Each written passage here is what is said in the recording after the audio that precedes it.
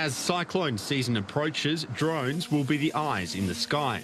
The technology now the first port of call for telecommunications providers conducting infrastructure assessments. We did actually use drone technology during Cyclone Debbie to assess damage to our infrastructure and, and, it enabled us to restore services a lot faster. Emergency services are also praising drones for their usefulness in coordinating disaster response efforts. Drone technology is, is, is making jobs a little bit quicker for us. Uh, as opposed to putting uh, troops on the ground, we can actually fly drones uh, over to assess the situation, which then helps us put resources into the appropriate place. And thanks to drones, climbing mobile base station communication towers will become a thing of the past.